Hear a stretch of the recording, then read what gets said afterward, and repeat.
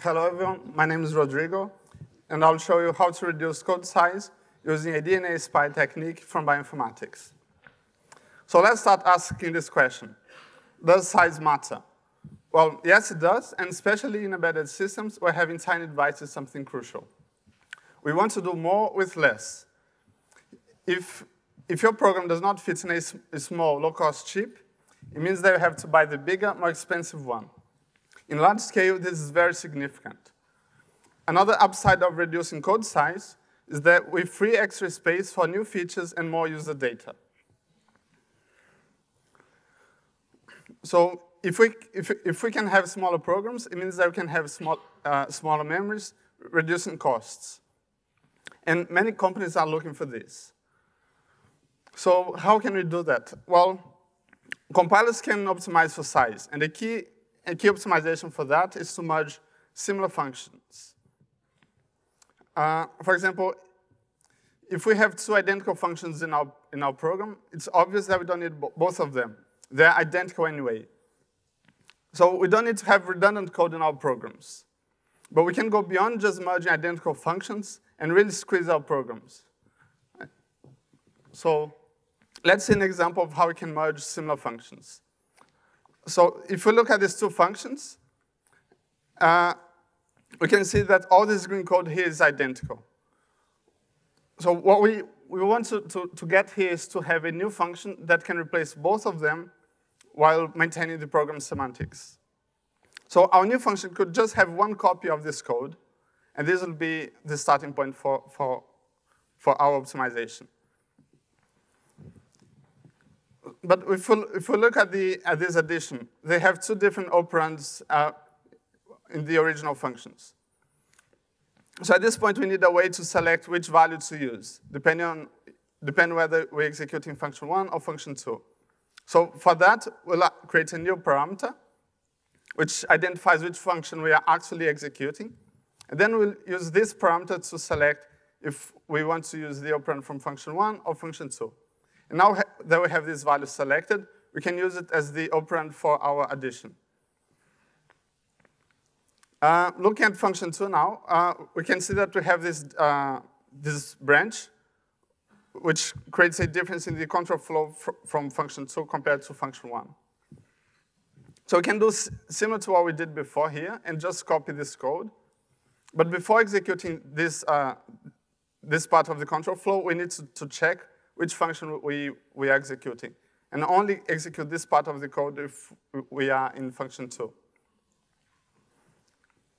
If we look at this return statement, uh, which is unique to, to function one, we need a way to, to handle that as well. But before looking to this return statement, we look into the return value, return types. Function one returns an integer, while function two uh, returns void. So in this case, we can always return an integer and just ignore the return value if we're executing function two. So we put int, int as the return type of this uh, of the new function, and because of that, we can always uh, return with no special check, and which means that this return statement will be executed for both uh, functions.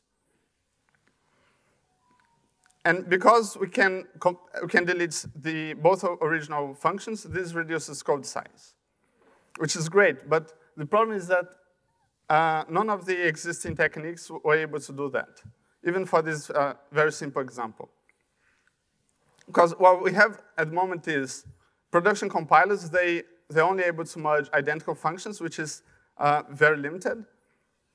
And the state of the art, although they are able to improve a lot over this uh, simplistic uh, technique, they still, it's still not enough. For example, they have many, many restrictions, such as they can only handle identical CFGs, identical return types, uh, identical list of parameters, and also the number of instructions per basic block. So in summary, they can only handle differences in corresponding instructions uh, in an otherwise identical CFG.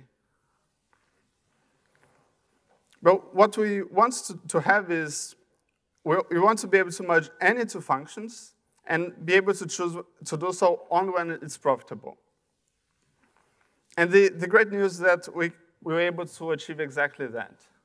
So let's see how we do it. Uh, using the same example, uh, but now looking at the IR form. We don't need all the information at the moment, so just have, use this simplified uh, version of, the, of our CFGs. So what we want to do here is to do exactly the same transformation as we did manually, but do that automatically. And to, to do that, our first step is to linearize these CFGs uh, to have a, a representation similar to how we humans look at the source code in a textual format. So the first function is, is trivial to linearize. We just take the instructions as they appear in the, in the basic block. Function two has a slightly more complex CFG. So we first need to, to, to decide on, a, on an ordering for, the, for these basic blocks. And for, for example, we use the uh, reverse post order for that. And then we can just take the instructions as they appear uh, in this order. First, breaking down uh, basic block one, and so on. Now that we have both functions in a linear form, we need a way to select uh, what we can merge and what we cannot merge between uh, these two functions. So here I'll illustrate uh, just the, the concept of what we want to achieve. This is not exactly how we implement it. I'll, I'll, I'll talk about the actual implementation uh, later. So starting from the top, we have two labels. Labels, we consider that we can always, it's always a match. So okay, this is a match. M moving on, we have two multiplications, and because the opcodes are identical, we're only interested at the opcodes at this point. Because they are the same opcode, this is also a match. Uh, the operands are identical as well, but we're not considering them at this point. Next, we have two additions, and because, again, the opcode is the same, this is also a match. And notice that the operands are, are different uh, for this instruction, but we'll deal with these, these operands later on. Then we have function calls. In, in, function calls, we always consider the, which function we are calling. And because they are the same, this is also a match. And we, we continue doing the same thing until this point, where a, we have two different uh, instructions. One is a return, the other one is a comparison. And because this is a mismatch, we insert a gap in function one, and continue doing that, uh, re repeating this, this test for the other functions, other instructions in function two. So this is also a mismatch. We keep inserting gaps, and we keep doing that until this point where we have two uh, return instructions. So yeah, this is also a match. And okay, and this is, and here we can, we, we know what we can merge between these two functions. But the, the exciting thing is that this is a solved basically solved problem in bioinformatics.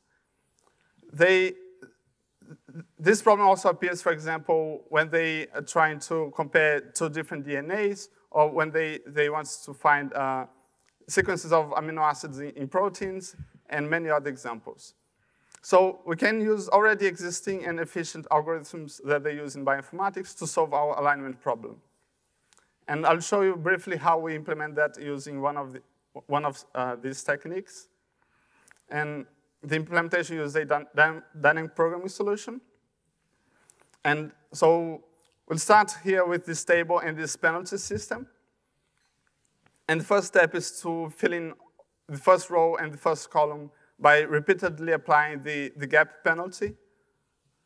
And then to compute this first cell here, We'll first consider that we are inserting a gap in function one, which means that we are coming from the left. And because it's a gap, we add the penalty gap. We do the same if we are coming from the top, which, is, which means that we're inserting a gap in function two. And we also consider the diagonal, and the diagonal means that we either have a match or a mismatch. In this case, we have two labels, so it's a match, so we're adding the, the plus two here. And then the actual value for this cell will be the, the maximum value among them. So this is a 2. And we do the same for, for example, this other cell here. But in this case, the diagonal has a mismatch because in one function we have a label, the other one we have a multiplication. So we have the, the mismatch penalty. And the maximum value here is coming from the left, so it's 1. And we re repeat this process for the whole table. And then the solution, we compute it coming from the last cell, and then maximizing the path towards the, the first cell. And this is exactly our optimized uh, sequence alignment that we had before.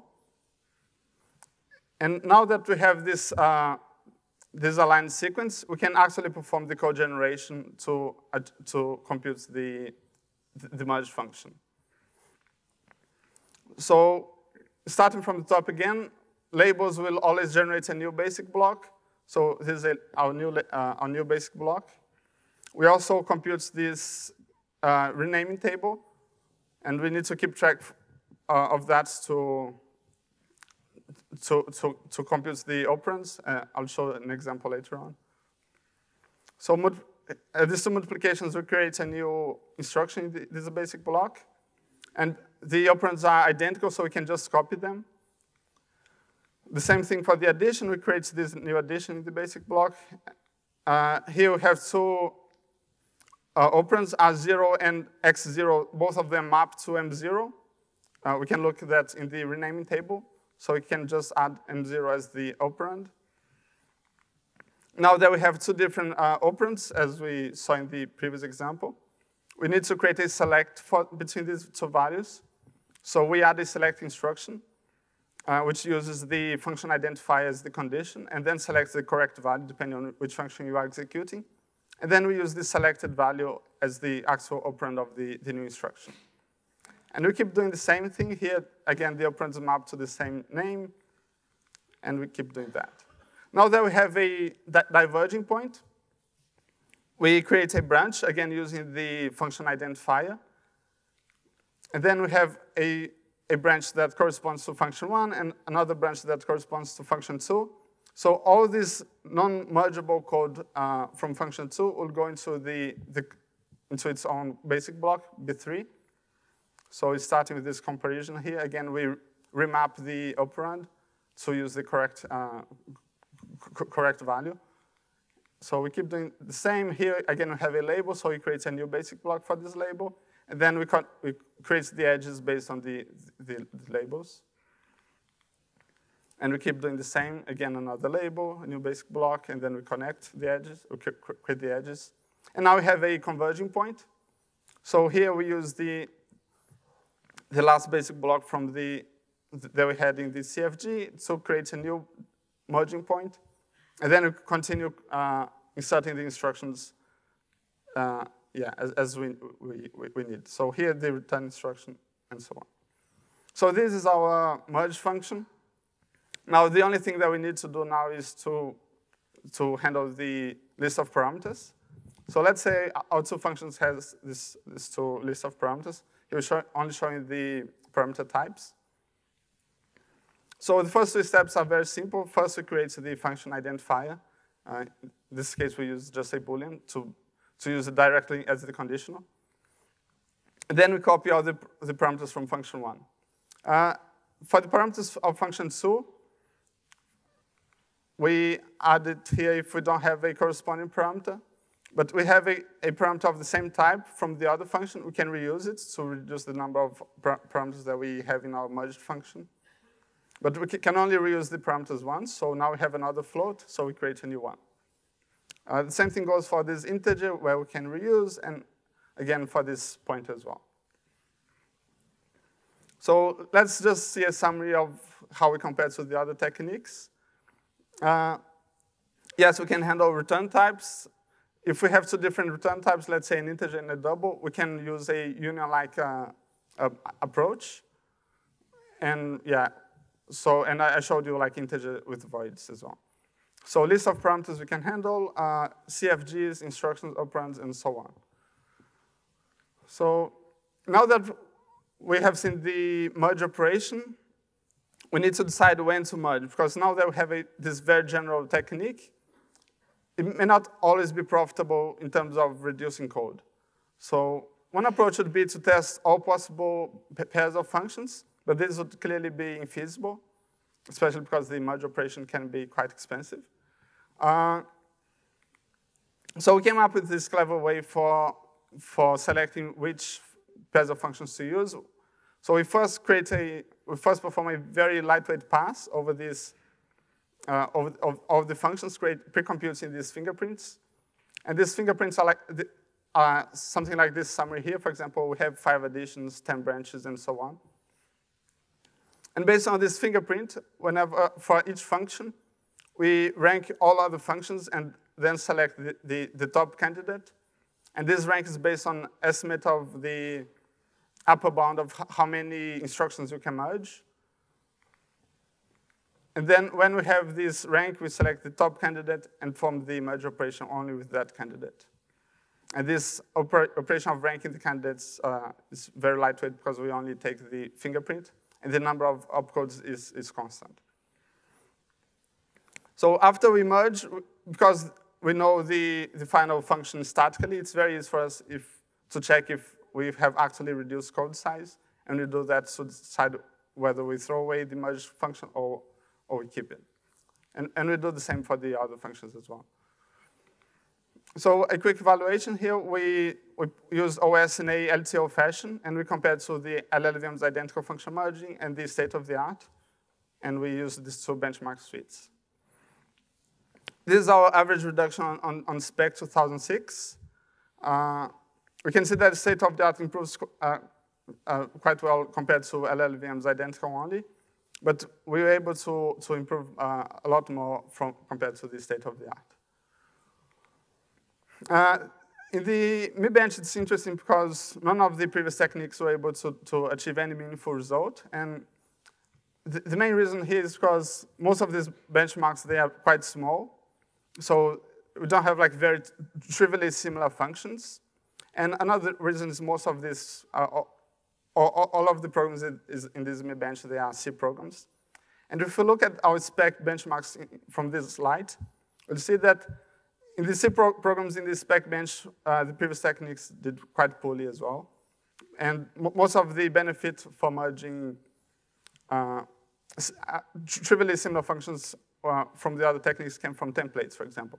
But we also did quite well in these C programs, so that's why we were able to, to achieve uh, th this kind of results. Uh, looking at runtime, we have a, sli a slight overhead. Uh, for example, can achieve, uh, introduce overheads inside hot, hot blocks.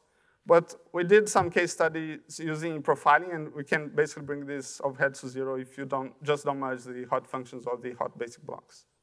And still get uh, some meaningful code size reduction.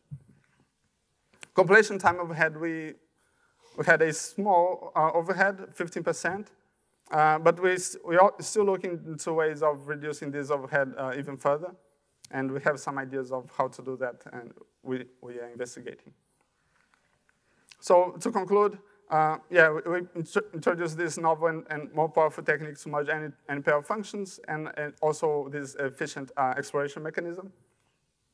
Just some uh, useful links here. We have a link to our paper in CGO.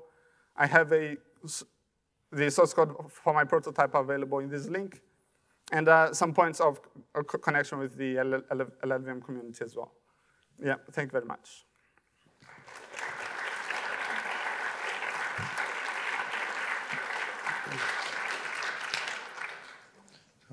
Questions for Rodrigo?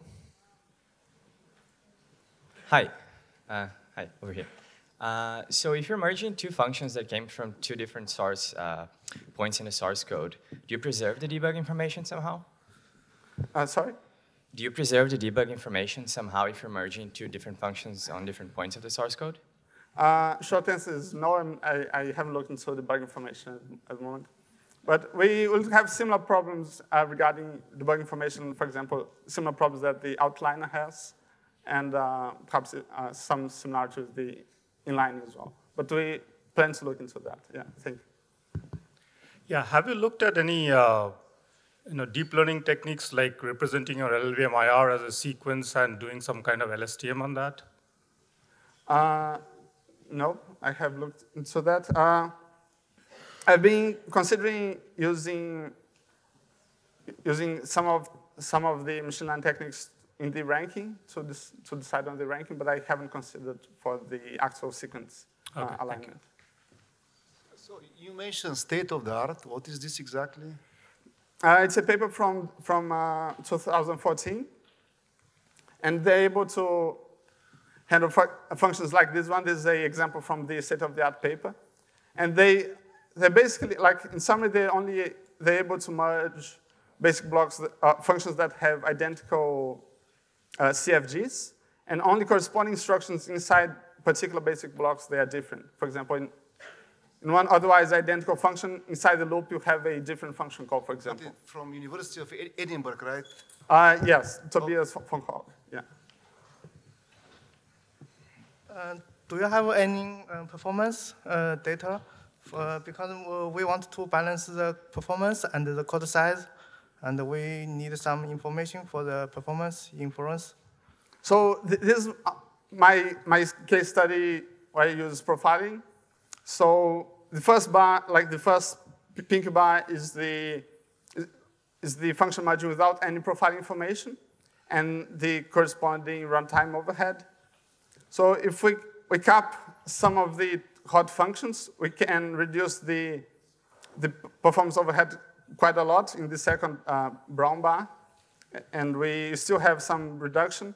And we can basically bring the performance overhead to zero, like the last bar, if we just merge, for example, the, the cold functions. So yeah, this is some preliminary results uh, in, in that regard. Okay, thank you. Thank you. Let's thank the speaker again.